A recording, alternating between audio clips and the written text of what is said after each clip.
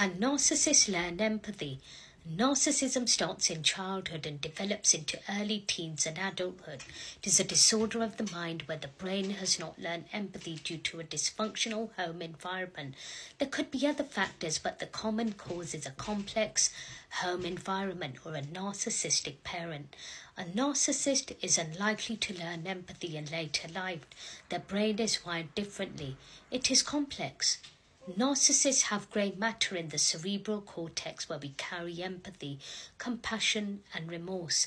As an adult, you cannot teach someone to have empathy. These feelings have to be learnt in a childhood when the child goes through the developmental stages.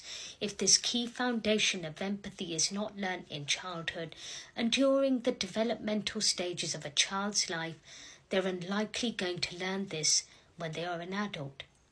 You cannot teach a fully grown adult to have empathy. These feelings should be learnt in childhood and should have come naturally. Narcissists will pretend they have empathy, but really they do not, as their actions prove otherwise. Someone doing the same hurtful things to you over and over is not empathy, it is hurtful behavior. Narcissists cannot learn empathy.